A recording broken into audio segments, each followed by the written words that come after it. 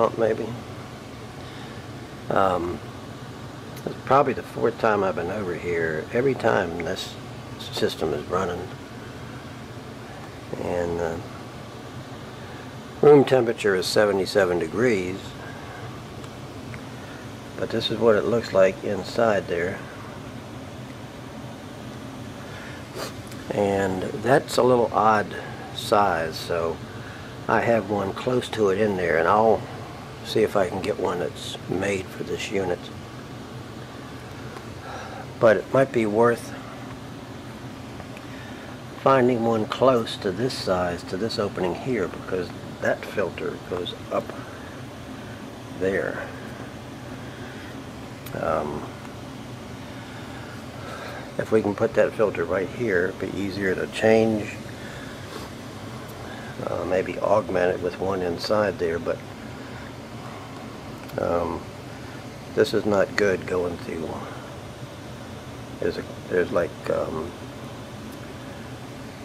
a com compressor, a uh, evaporator coils up there, and a lot of this dirt is just going through.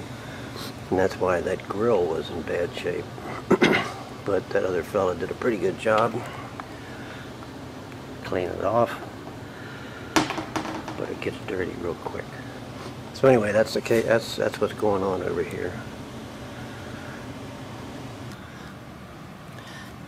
And this is a refrigerator.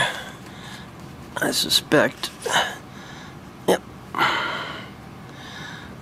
The um evaporator coils.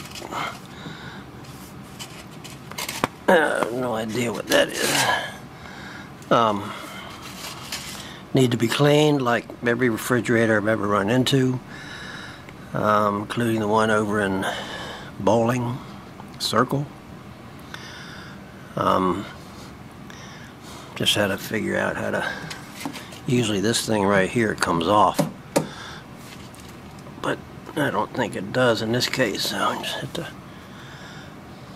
if you want to get those clean, just have to figure out how to jack that thing up. Oops. Alright. So, I guess it all depends on if the if the tenant pays the electricity bill or you do or your client does. Um, keeping these refrigerators and this mess here cleaned up makes a huge difference. And you can hear how it's running now anyway.